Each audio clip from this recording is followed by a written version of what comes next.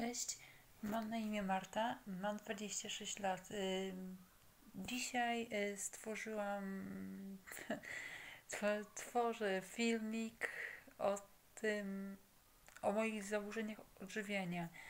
Chciałabym Wam opowiedzieć o swojej, o swojej, o swojej, o swoich zaburzeniach odży- odżywiania, a raczej o mojej anoreksji.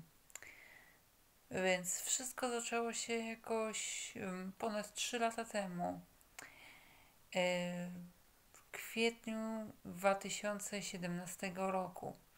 Wtedy jeszcze chodziłam na taką terapię dla e, osób y, z depresją, ale głównie tam osoby chodziły, osoby ze schizofrenią i innymi zaburzeniami psychicznymi. Ym, Mama zapisała mnie na tą terapię.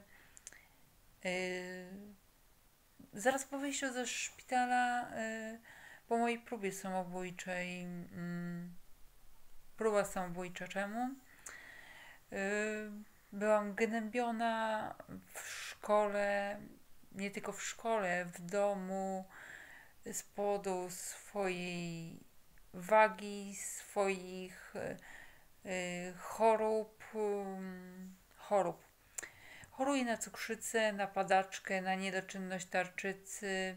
Gdy miałam 16 lat, y, pojawiła się depresja. Trafiłam wtedy na oddział dziecięco-młodzieżowy y, w Szczecinie w Zdrojach. Byłam tam jakieś dwa miesiące. Sytuacja w domu się nie poprawiała.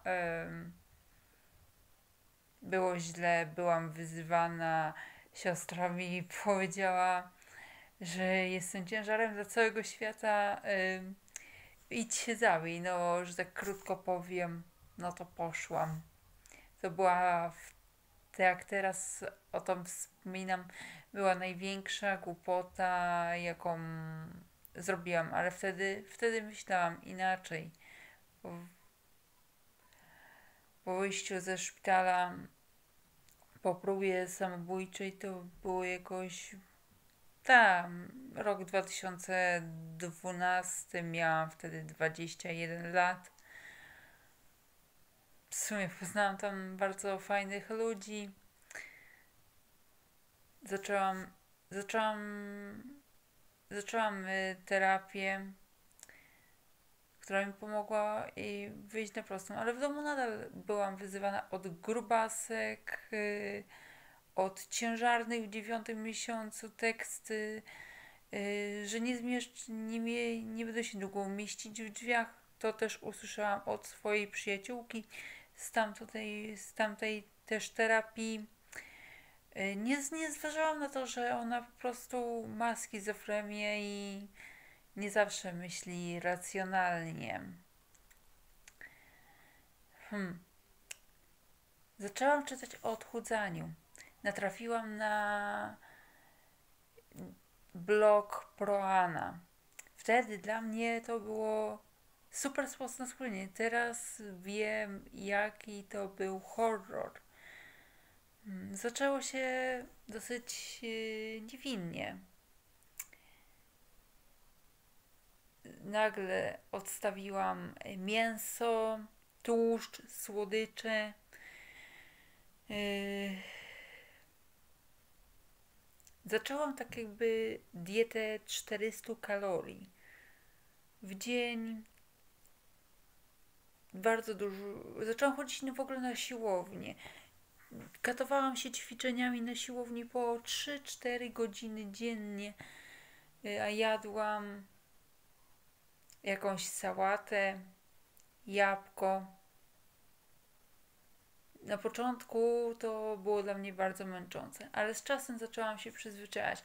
Gdy w pierwszym tygodniu schudłam 6 kilo, zaczęło, zaczęłam się tak z tego cieszyć. Ćwiczyłam coraz więcej, pracowałam. O dziwne, o dziwo, że dałam radę praco- pracować przy jedzeniu, bo pracowałam w restauracji Burger King. Poznałam tam też bardzo dużo ludzi, ale jak to, jak pierwszy, po dwóch miesiącach mojej diety, y, jak zemdlałam, mm, jakby to powiedzieć, odrzucałam od siebie myśli, że jestem chora. Tłumaczyłam, Przecież ja tylko jestem na diecie, ja tylko dbam o, zdro, o, zdro, o zdrowe rzeczy. Z czasem miałam coraz mniej siły. Wszystkie swoje pasje zamieniłam na ćwiczenia. Nie, wcześniej nienawidziłam e, jakiejkolwiek aktywności fizycznej. E, zaczęłam dużo chodzić, jeździć na rowerze, ale gdy mama zaczęła coś podejrzewać,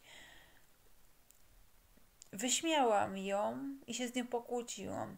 Ale wiedziałam, że długo nie będę mogła tego ukrywać, a nie chciałam dopuszczać do siebie myśli, że może mnie zmusić, żebym jadła, bo wtedy to tak naprawdę jadłam bardzo mało.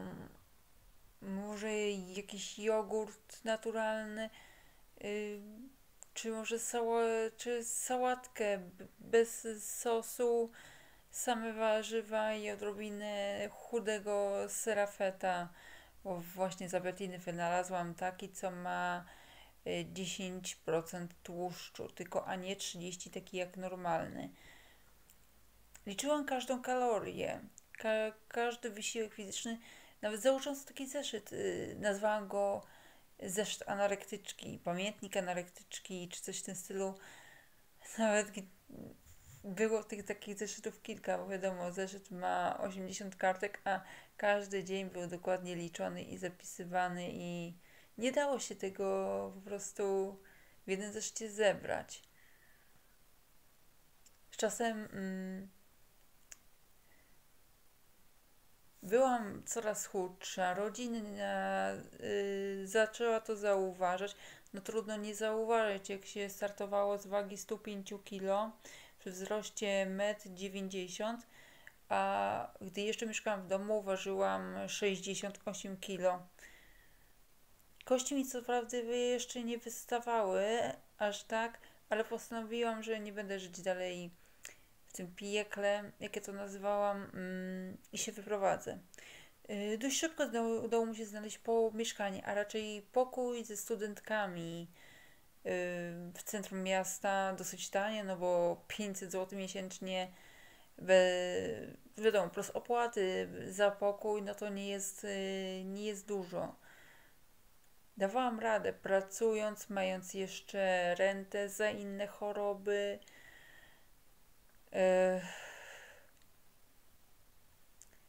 no, urwała po prostu kontakt z rodziną, bo nie chciałam dopuścić do siebie myśli, że, że co, ja, ja jestem anorektyczką, nie, nie. Było mi dobrze w tej mojej cudownej diecie. Z czasem zaczęłam robić po 600-700 brzuszków dziennie, gdy miałam dzień wolny od pracy, a czasami nawet. Yy, no i wtedy już nic nie jadłam. Kompletnie nic. Powiedziałam sobie wszystko albo nic. Wybrałam właśnie to nic. W bardzo szybkim tempie, bo jakoś trzy tygodnie, gdzie piłam tylko wodę lub Coca-Colę Zero, yy, schudłam z 68 kg do krytycznej wagi 52 kg. Yy, tak, 52 i to było BMI prawie 14. Wtedy właśnie mama znalazła mnie w tym wynajmowanym mieszkaniu, bo babcia, miałam kontakt tylko z babcią. Babcia jej powiedziała, że jest źle. Yy, no i znalazłam je w tym mieszkaniu. Ja już naprawdę wtedy nie miałam siły wstać. Ledwo co dawałam radę przejść kawałek do łazienki. przyjechała, pomogła mi się spakować i wtedy trafiłam do kliniki. Y, to nie była typowo klinika zaburzeń odżywiania, tylko normalna klinika psychiatrii w Szczecinie na ulicy Broniewskiego.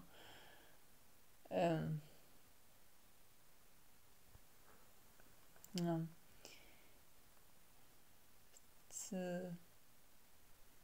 Byłam po prostu już wycień, wycieńczona w klinice. Spędziłam prawie dwa miesiące. Groziła mi sonda. Nieraz na początku pobytu w klinice było bardzo ciężko,